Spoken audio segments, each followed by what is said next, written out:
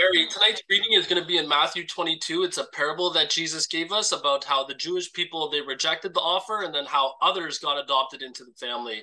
Let's go ahead and read verse 4 and 5 and then 8 to 10 after. Then he sent some more servants and said, Tell those who have been invited that I have prepared my dinner. My oxen and fattened calf have been butchered, and everything is ready. Come to the wedding banquet. But they paid no attention and went off, one to his field, another to his business.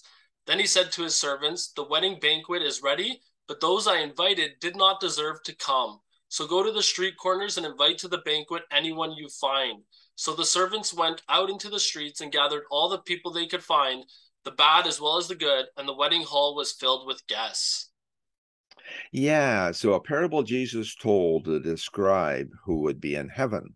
Justin, you had someone that felt inadequate in becoming a Christian recently, and that's what we're kind of addre- addressing here. So, what was that? Yeah, I see the person reached out to me and they uh, stated that they felt inadequate, like you were saying, because they weren't born in the church and they've been being brought to church by a family, and this family has been going there their whole life, and he's friends with the son, and he just felt that awkward, right? Because that he wasn't deserving of this because, like we were saying, he was uh, he, he wasn't born into this the church system.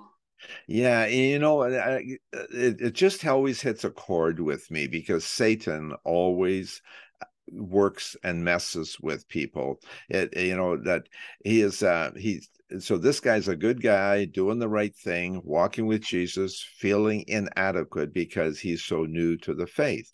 He's humble as he should be coming to jesus. But satan says christianity is really complex. You'll never really get it. Or mm. something like that he says the people in the church like to wish you weren't even here and whole lot of lies is what he what he tells. Could you read john 8 44 says you belong to your father the devil and you want to carry out your father's desires. He was a murderer from the beginning not holding to truth for there is no truth in him. When he lies he speaks his native language for he is a liar and the father of lies yeah, Satan. That's the other side. Jesus is the father of truth. Jesus told Pilate, he said, The reason I came into the world was to speak to the truth, and all those that love that, that love truth listen to me. And and and, and Satan is always doing the opposite. He's always stirring the pot with rumors and lies and plays on people's minds. So, uh, so what are his other lies? Uh, so one day you are distracted by some temptation some temptation Satan sends your way. Satan assures you that is no big deal. Everyone's doing it. And of course, no one will know. So then we relent and take the bait. And mm. Satan says, Gotcha. Now he tells us that we're the biggest losers ever seen. There's no, so, no, no so-called Christian would ever do that, and God never God will never speak to them again. All lies his native language. And I believe that that shows up all through the whole church system. Some people are struggling, and Satan keeps telling them they're inadequate and this and mm-hmm. that and other things. But then there's people that are satisfied, and and what they're listening to is just hey uh, you know like satan tells him hey you're doing good. You you know you're doing wonderful. Yeah. and, and and the thing is they're not doing good. All the ones that are not doing so good he says hey you're doing fine. And then he coaxes you to be on another committee or pay a little more money or do a little bit of this or that or or or whatever. And just coaxes you to feel that everything is in order and uh, and you'll hear whenever the minister says kind things he says hey that's me and all this kind of thing. Mm and and that is that is so not okay. And then we can be say we're born into the faith a large family all everybody is everybody's been a christian from way back and mm. it's all to our benefit. But you know it's all lies for those that are doing okay he cooks it you know in a sense he he gets you in one ditch and other people in the other ditch. Yeah. so some some people are satisfied that that uh that they're in a good place and self-righteousness comes along. You know the, the when when we come to faith it's really hard and getting righteousness is really difficult. But this, it's a real big step to get into righteousness and a very small step to get into self righteousness.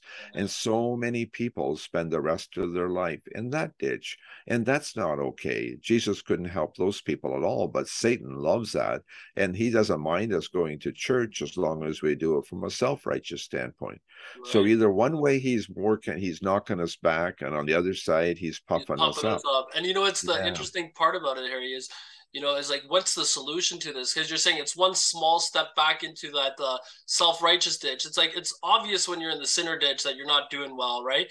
And you want to get on the narrow way but then the the other ditch where you think you're probably doing some things right but you're not surrendered. What is the solution? What do you think harry always test yourself all the time all the time. Just because you're hearing kind things from the pulpit that says that we're all doing good and god loves everybody and all this kind of thing please please be wise to it. Are we really te- like like in uh second corinthians 5 13, 13 5, 5 yeah it says test yourselves. Don't you know that christ jesus lives in you unless of course you fail the test yeah, we got to make sure we're testing ourselves because Satan is not going to do that for us. He'll either condemn us or puff us up. And, and ah. either way, we're not in a good place. That's his job. And we have to make sure that we don't spend our life there. We have to do what we have to do. When test comes our way, we have to pass the test and pass the grade and graduate and get a job real job walking with god sharing the faith doing what is necessary uh, and that is where we got to be and and but satan is always going to catch us either make us oversatisfied or over guilty or over something but he, his job is to mess with the church. The people are going to the bars. He's already got those folks. He doesn't work much on them. They're already coasting but but church that's where he wants to get people and we have to be so careful that we're not the next victim Amen. Thanks a lot for this, Harry. Thank you.